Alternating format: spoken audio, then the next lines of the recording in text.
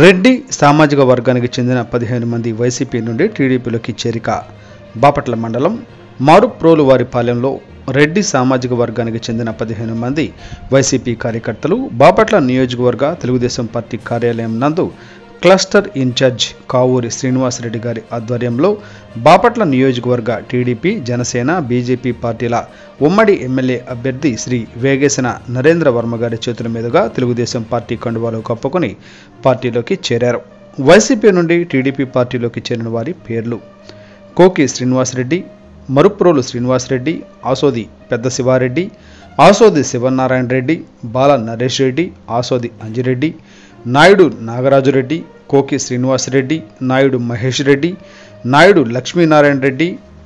నాయుడు కళ్యాణ్ రెడ్డి పిట్టు ప్రసాద్ రెడ్డి కోకి సుబ్బారెడ్డి గునుమిని హరికృష్ణారెడ్డి కల్లి ఈశ్వర్ తదితరులు.